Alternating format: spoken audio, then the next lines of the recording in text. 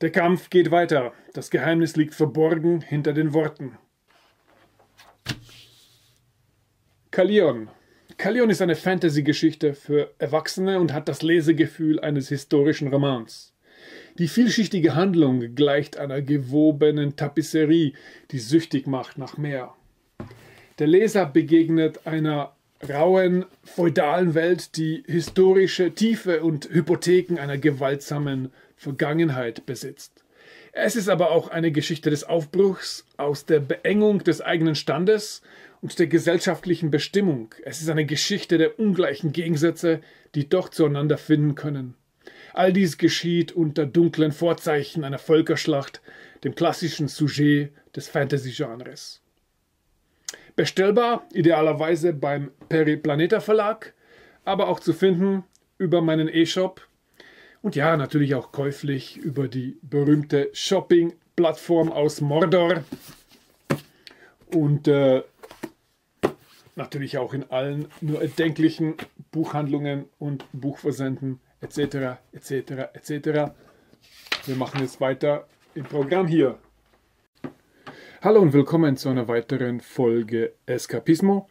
Ähm, ich dachte, wir runden das jetzt mal als eine kleine Heavy Metal Trilogie ab und äh, bringen noch ein weiteres Heft ins Spiel, nämlich die März-Ausgabe von 1978 und äh, gehen das mal durch. Das wird sicher etwas flotter gehen als das letzte Mal, weil viele der Künstler, die hier drin sind, hatten wir ja schon in der letzten Ausgabe mal genauer angeguckt. Und äh, ich fange da gleich mal an mit dem hervorragenden Cover. Ähm, das ist sicherlich eines der gelungensten Heavy Metal Cover dieser Ära damals. Ähm, es ist ein Spread, also man kann das so aufmachen und das ganze Bild in Augenschein nehmen. Ähm, die Grafik stammt von ähm, Jim Burns, der ein Walise ist und eigentlich ein Illustrator von Science-Fiction-Büchern. Und äh, ich vermute mal, dass diejenigen von uns, die gerade Science-Fiction-Bücher mögen und vielleicht mal so die Paperback-Ausgaben der 70er, 80er Jahre kennen, vielleicht manch ein äh, Covermotiv von ihm gesehen haben. Das hier würde ja wunderbar zu einer zu einem Isaac Asimov-Roman passen, finde ich. es hat durchaus äh, diese Atmosphäre. Ja.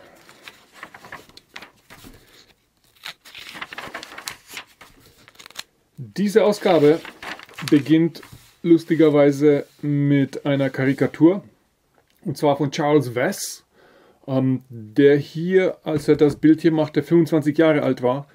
Und ähm, das ist natürlich ein vertrautes Motiv, das, das Selbstporträt des Comics-Zeichners. Das ist etwas, äh, was ich äh, schon bei Hergé gesehen habe, bei Möbius. Ähm, ich glaube, viele Comiczeichner haben sich früher oder später mal selbst äh, porträtiert am am Zeichenbrett, aber stets eben augenzwinkernd mit einem Sinn für Humor. Einerseits äh, wird hier so die Geisteswelt des Künstlers offenbart, aber zugleich auch äh, vielleicht auch ein bisschen die, die alltägliche Misere des Comics-Künstlers, äh, der ähm, auf jeden Fall kein ähm, luxuriöses äh, Leben führt, sondern eher sich den ganzen Tag nur seinem Rücken schadet und dessen Reichtum mehr in seiner Fantasiewelt Ausdruck findet.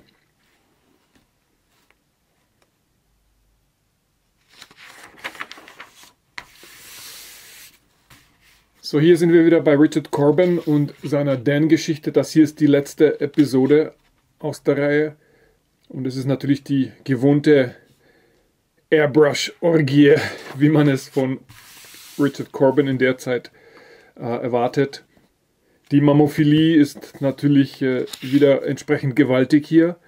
Ähm, natürlich musste sich damals Corbin anhören, er sei ein Pornograf, was äh, als Behauptung sichtlich unverschämt ist. Ähm, zumal die Kritiker damals noch keine Ahnung hatten, was alles so auf sie in den 80er Jahren zukommt. Und äh, verglichen damit waren ja diese ähm, nudistischen Experimente der 70er Jahre dann noch vergleichsweise harmlos. Da gab es dann noch ganz andere Geschichten. Die Atmosphäre von dieser Geschichte ist ja sehr überzeugend. Also wenn die Idee oder die Aufgabe darin besteht, ähm, eine fremdartige Welt, ein, eine Art Paralleluniversum oder eine Art andere Dimension äh, zu porträtieren oder zu zeigen und dafür zu sorgen, dass es sich auch entsprechend fremdartig anfühlt, dann äh, ist diese Aufgabe hier hervorragend umgesetzt worden, weil äh, diese Geschichte auf jeder Seite und in jedem Panel äh, diese ähm, seltsame transdimensionelle Fremdartigkeit geradezu atmet. Ähm, interessant finde ich so Details wie zum Beispiel die Haare. Ähm, das ist wirklich fantastisch umgesetzt und ähm, etwas, das äh, eindeutig Erwähnung verdient. Auch nett hier dieses Detail, dass man so diesen unmittelbaren Augenkontakt mit der Flugechse hat. Ähm, das ist schon alles sehr großartig gemacht. Ähm, die Schlussseite als Splash-Screen äh, macht ziemlich deutlich, äh, welchen Vorteil auf dem Spielfeld man besaß, wenn man damals als Airbrusher seine Comics machte.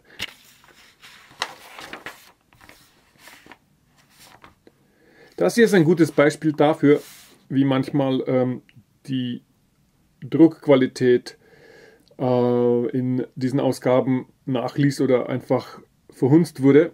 Das ist eine Illustration zu dieser Kurzgeschichte, ebenfalls bei Charles Vass. Und ähm, hier kann man natürlich sehen, dass sich zwischen dem Blaudruck und dem Rotdruck irgendwas leicht verschoben hatte, was man dann an diesen Stellen hier merken kann. Plötzlich wird alles so leicht unscharf und äh, bei genauerem Hinsehen kann man ja ähm, entdecken, dass äh, eben die ganzen Linien verschoben sind. Ähm, das passierte halt manchmal.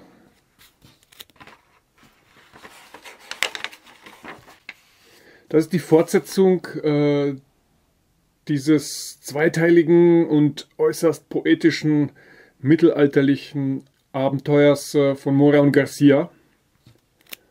Ähm, kein Zweifel, dass Garcia ein König äh, der Schraffur ist. Und nach wie vor finde ich, ist es eine sehr ungewöhnliche Art zu zeichnen, zumal es einerseits diesen extremen Realismus besitzt, aber die Methodik hierbei sehr abstrakt ist. Das erschafft eben so eine seltsame, so ein seltsames, so einen seltsamen Widerspruch aus Vertrautheit und Fremdartigkeit. Was aber möglicherweise keine so schlechte Idee ist, wenn man eine Geschichte erzählt, die sich im tiefsten Mittelalter abspielt und durchaus ein bisschen äh, fremdartig äh, rüberkommen soll. Beinahe so, als würde man eine heimliche Zeitreise machen und äh, hätte dabei aber ein bisschen Probleme, ein klares Bild zu sehen von dieser Wirklichkeit, äh, deren Zeuge man da ist. Oder was auch immer. Hier geht es weiter mit äh, Planet Diabolique, Diabolical Planet, der zweite Teil. Die Abenteuer von Maurice White. Ähm, hier ist auf jeden Fall ähm, deutlich mehr Weltraum zu sehen und das Ganze hat deutlich mehr ähm, von Science Fiction. Das Ganze ist natürlich extrem komödienhaft und, und satirisch und äh, ähm, schon erkennbar daran, dass äh, Maurice White für seine planetarischen Ausflüge äh, de facto ein Heldenkostüm trägt.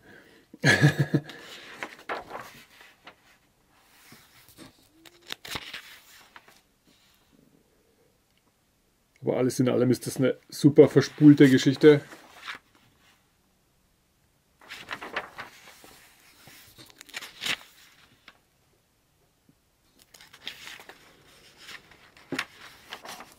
Und hier geht es natürlich weiter mit Urm Le Fou von Drouillet.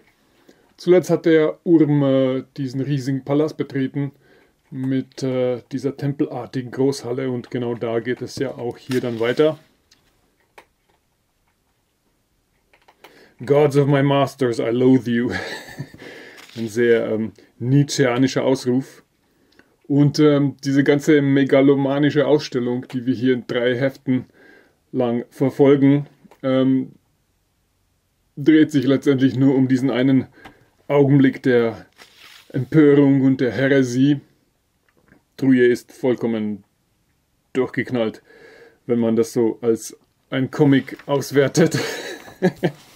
da werden einfach keine Grenzen mehr anerkannt. Das hier ist der nächste großartige Spread. Wir können da immer zunehmend mehr von dieser megalomanischen Architektur sehen. Allerdings erfahren wir ein bisschen mehr über die Bewohner dieser Welt und konfrontieren uns mit so Dingen wie, oh, es mutet an wie so eine Form von Kannibalismus, das hier bei dieser Festivität betrieben wird. Und gleich der nächste Spread. Nun, wer hätte das hier nicht gerne als ein Poster? Also wirklich.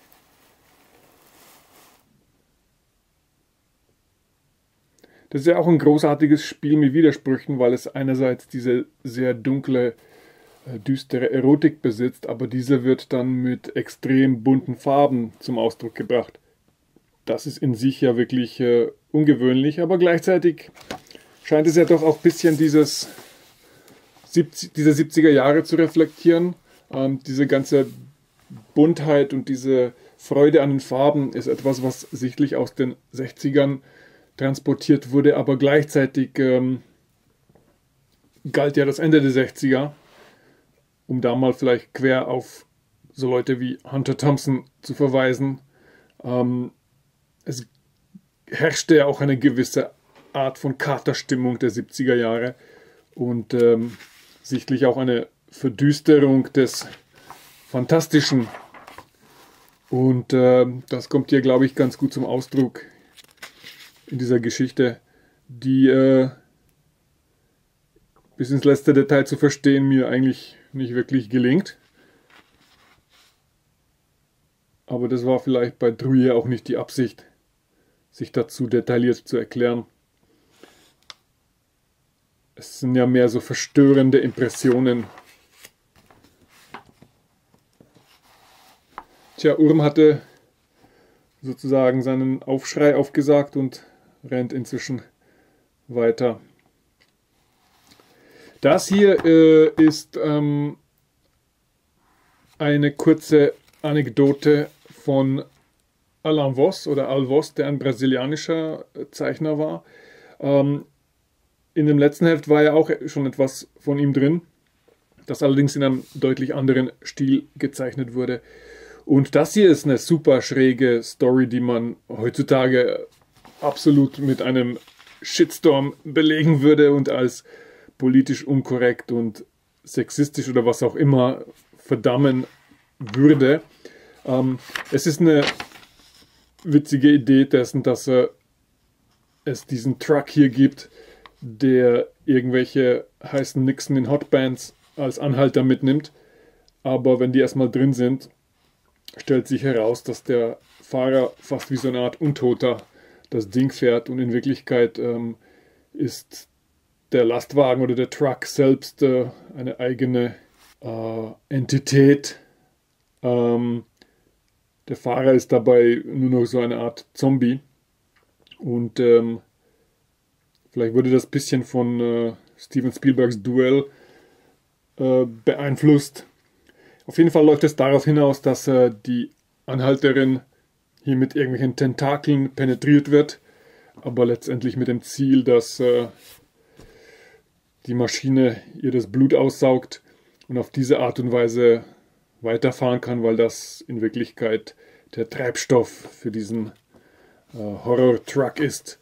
Und hier im letzten Panel sieht man natürlich die nächste Anhalterin, die gerade von ihren Tennisstunden äh, nach Hause geht und scheinbar ähm, per Anhalter fahren möchte, inklusive einer durchaus obszön angedeuteten Kamelzehe unter ihrem Minirock. da hält sich äh, Alvos nicht wirklich zurück.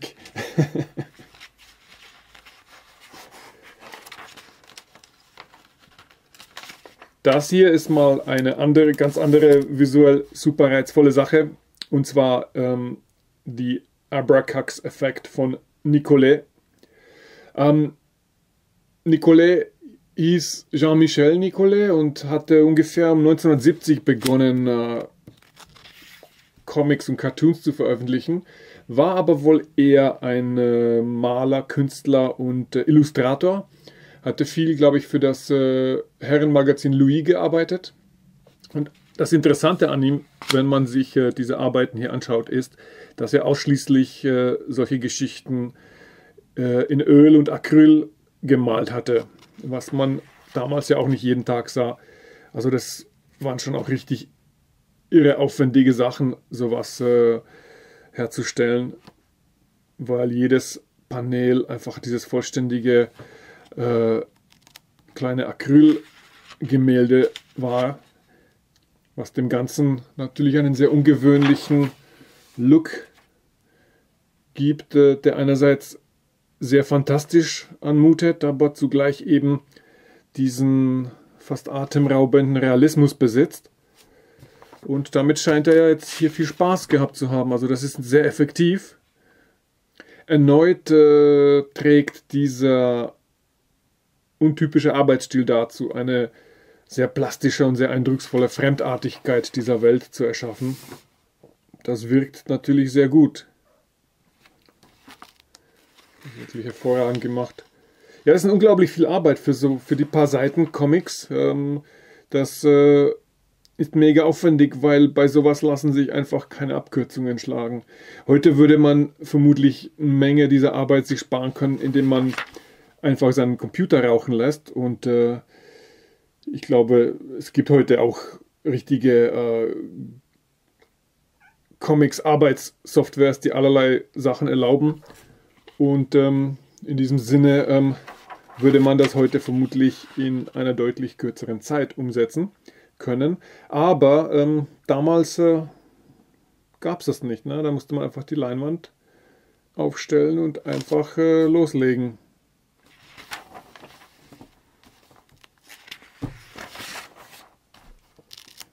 Das hier ist äh, Orion. Ähm, Orion war ähm, von äh, Gray Morrow und ähm, den hatten wir in der letzten Ausgabe ähm, gesehen. Der hatte ja diese interessante Hybridengeschichte laufen mit Roger Zelazny. Und äh, wie gesagt, das, der Typ war ein großartiger, klassischer Illustrator und Zeichner. Ich finde seinen, seinen Stil wirklich toll. Natürlich wirkte sein Zeichenstil hier an dieser Stelle, äh, also inmitten der 70er Jahre oder eher am Ende der 70er Jahre ein bisschen antiquiert. Ähm, das atmet halt irgendwie schon noch diesen Charme der späten 50er und frühen 60er, finde ich. Aber ähm, was man nicht in Abrede stellen kann, ist dieser großartige Stil, den er hatte. Also das war ein wirklich hervorragender, hervorragender Zeichner und Maler. Ähm, also das ist schon gigantisch. Und die Kolorierung ist auch hervorragend ähm, hat eben auch äh, so eine eigene farbliche Handschrift, die ein bisschen so eine Art Fremdartigkeit hervorhebt. Ähm, aber ich finde, es funktioniert fantastisch.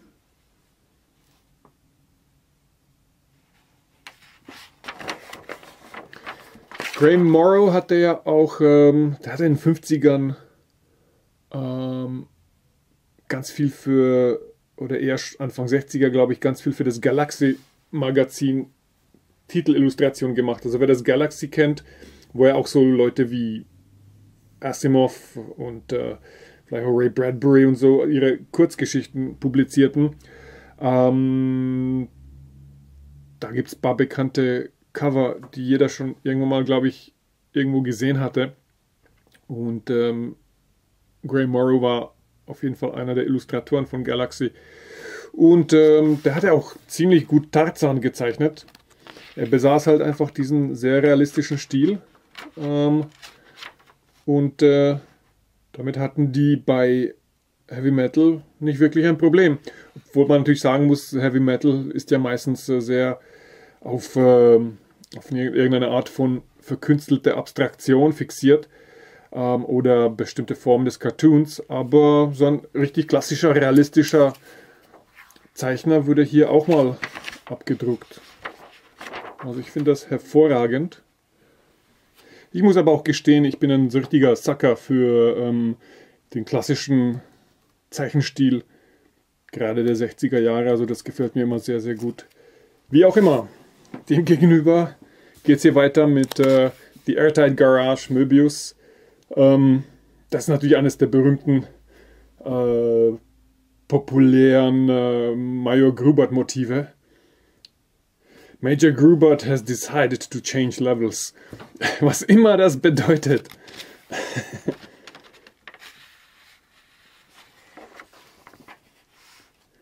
Und alles, was wir erleben, ist einfach diese ungewöhnliche, vollkommen intuitiv gezeichnete Sequenz, ähm, wo Major Grubert einfach in dieser fremdartigen Welt auftaucht, die ihm gar nicht so fremd ist. Ähm, er schlendert halt da so durch. Da findet irgendeine lokale, ähm, kulturspezifische Zeremonie statt. Ähm, er ist offensichtlich unterwegs und sucht jemanden, mit dem er scheinbar verabredet ist. Also man bekommt ja immer irgendeine weitere Information. Ähm, aber man darf sich nicht darauf einschießen, dass das irgendwo besonders äh, hinführt. Es ist einfach nur befremdlich, faszinierend. Großartig. Das ist auch ein ganz toller Grubert hier. Gefällt mir ausgesprochen gut. So, hier finden wir die Fortsetzung von äh, 1996 von äh, Chantal Montelier. Das ist natürlich äh, viel äh, Gesellschaftskommentar. Ähm, die besuchen hier so eine Art, äh, eigentlich ist es einfach so eine Art Schrottplatz mit Autowracks und in die Mitte hat jemand diese Statue hingestellt und das Ganze letztendlich zu einem Besucherpark erklärt oder zu so einer Art, zu einer Art äh, Monument oder Denkmal. Da steckt natürlich viel Gesellschaftskommentar drin, aber es ist auch interessant, ähm, das im Kontext der Zeit zu sehen, in der das gezeichnet wurde. Denn Ende der 70er Jahre, naja, wir erleben, glaube ich, die ersten Risse in der Wand bezüglich äh, einer gewissen Fortschrittsgläubigkeit der Menschen, die in den 60ern extrem stark war und in den 70ern immer noch sehr stark war. Aber man erkennt das ja auch an den Spielfilmen, die oder an den Science-Fiction-Filmen, die ähm, zunehmend diesen Übergang von einer Utopie zu einer Dystopie markieren und ähm, diese sich immer mehr einschleichende Vorstellung oder Überzeugung, dass die Zukunft der Menschheit ein einziger riesiger Schrotthaufen sein wird. Es hatte aber auch gleichzeitig diese Art von befremdlicher, äh, aber auch augenzwinkernder ähm, Ignoranz dieser Leute, die sich das im völligen Ernst angucken, als wäre daran wirklich irgendwas sehenswert. Und die Profilzeichnungen hier sind wirklich großartig, muss ich schon sagen. Ja, das, das andere Interessante daran ist ja diese vollkommen verhunzte Sprache, die sie hier benutzt und äh, die wahrscheinlich jemand für die englische Ausgabe von Heavy Metal äh, mühselig äh, übertragen hat, damit das im Englischen genauso funktioniert wie im Original.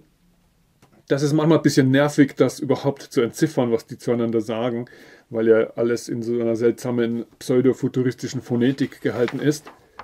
Aber ähm, ich habe mich auch daran erinnert, dass äh, genau denselben Handgriff oder genau denselben Manierismus ähm, Jean-Yves Mitton benutzt hat in seiner Chronik der Barbaren ähm, als er eben vor dem Problem stand, äh, darzustellen, wie sich irgendwelche Wikinger untereinander unterhalten ähm, und äh, eben auch diese seltsame Sprachgermanisierung vorgenommen hatte. Das war ja dann wiederum sehr lustig, das dann in der deutschen Übersetzung äh, umzusetzen, weil äh, das alles irgendwie verständlich ist aus der Phonetik heraus, aber jeder Satz ist irgendwie total verschroben.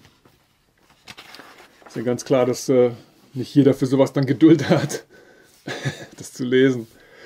Ähm, das hier ist eine, ein kleiner Einseiter von äh, Jean-Louis Tripp, der sich hier interessanterweise Jean-Louis Tripp mit einem P unterzeichnet.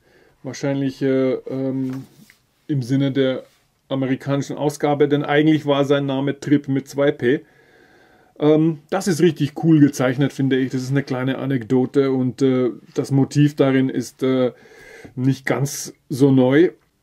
Das ist eben eine Art, ja, heute würde man das als Meta bezeichnen, äh, wenn plötzlich äh, die, ähm, die Motive äh, auf dem Papier des Zeichners äh, zum Leben erwachen und diese zwei Sphären, also die Wirklichkeit, also die Welt des des sich selbst porträtierenden Künstlers und seine Ergüsse quasi plötzlich interagieren auf irgendeine Art und Weise.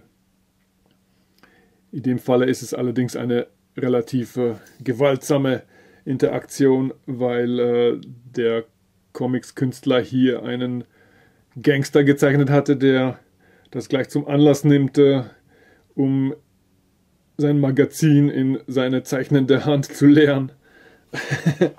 ich habe ja mal ähm, sowas sogar äh, als DC-Comic mal gelesen. Ähm, da ging es darum, dass die Gerechtigkeitsliga äh, aus irgendeinem Grund in eine dieser zahlreichen Alternativerden reisen muss, und zwar die, und zwar die Prime Earth.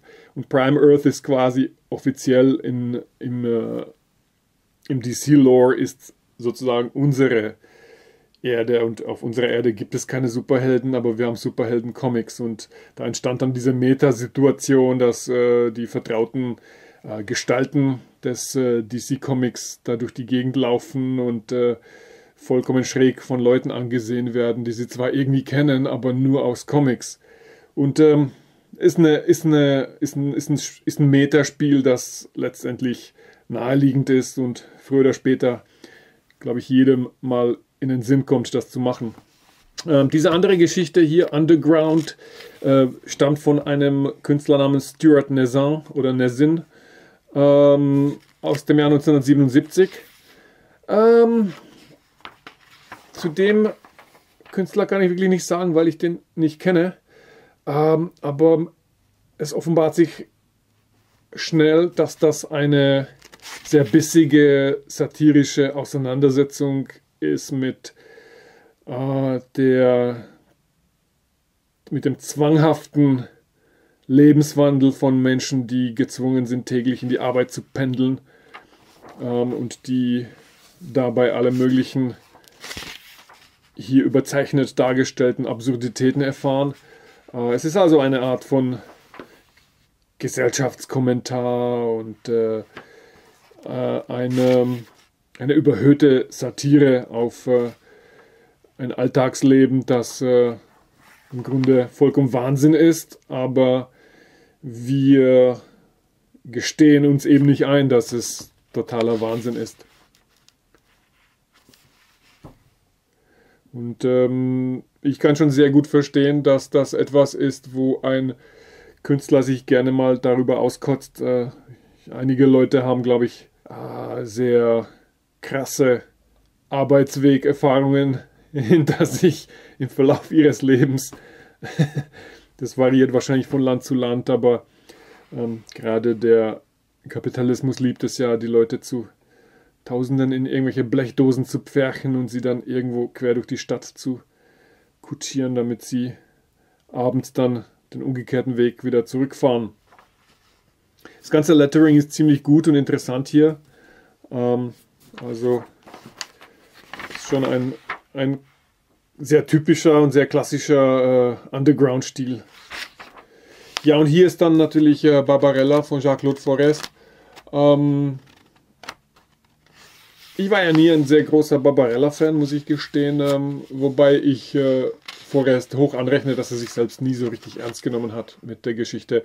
Das ist ja alles sehr komödienhaft und sehr augenzwinkernd, augenzwinkernd gemeint. Ähm, ich hoffe auf jeden Fall, dass äh, Jean-Claude Forest mal richtig gut abkassieren konnte, als sie eben seine Superheldin äh, verfilmt hatten in den 60er Jahren. Das ist ja immer das, wo ich mich am meisten eigentlich freue, wenn ich höre, dass ein Comics verfilmt wird. Ich kann gut verfilmte Comics wahrscheinlich die, die ich kenne, wahrscheinlich auf einer Hand abzählen und diese Hand müsste wahrscheinlich noch nicht einmal alle fünf Finger haben. Also ich bin kein großer Fan von Comics-Verfilmungen, auch wenn ich mir dessen bewusst bin, dass das das große Spiel heutzutage ist und dass äh, tonnenweise dass einfach die allerteuersten Filme, die heute entstehen, zumeist irgendwelche Comics-Verfilmungen sind. Ich finde das alles teilweise miserabel und äh, ungeachtet dessen, wie teuer es war, und mich interessiert dann auch nicht, dass es 200 Millionen gekostet hatte, wenn äh, das Drehbuch einfach nur Schwachsinn ist. Und es tut wirklich nichts für die Comics-Welt. Also diese Illusion, diese, dieses neoliberale Geschwafel, das dann halt wenigstens sozusagen damit der ohnehin darbende Comics-Markt angeheizt wird, ist, wenn man genauer hinschaut, ist nichts daran wirklich wahr. Und ähm, so viele Leute laufen dann herum und nennen sich Comics-Fans, aber lesen im Grunde kaum Comics, sondern beschäftigen sich nur damit, was halt als die nächste Permutation bei Marvel rauskommen wird und äh, wer ist als nächster dran und bla bla. Und äh, deswegen, wenn ich höre, dass Comics verfilmt werden, meistens freue ich mich für die Künstler, weil man dann davon ausgehen kann, dass die sich wenigstens mal äh, irgendein nettes äh, Landhaus äh, für das Honorar kaufen können und äh, dort in Ruhe arbeiten können, ohne jetzt unmittelbar ständig einen Druck im Nacken zu haben. Was man hier dem Barbarella hoch anrechnen muss, ist, dass ja ähm, diese zwei Protagonisten ein ziemlich ausgefallenes, exzentrisch aussehendes Raumschiff haben, was sich ja von außen immer so toll zeichnet, wenn das so alles so kurvig ist und so asymmetrisch. Aber ähm, Jean-Claude Forest natürlich, er drückt sich nicht davor, es dann entsprechend auch innen zu zeigen. Und ähm, das sind ja alles sehr interessante sehr asymmetrische Interiors, ähm, die vermutlich auch nicht so leicht zu zeichnen sind.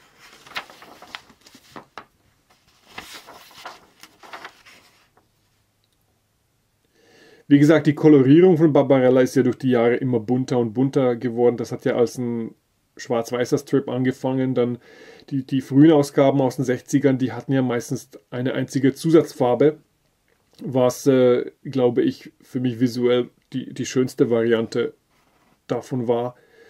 Ähm, aber hier ist das ja natürlich farblich vollkommen außer Kontrolle.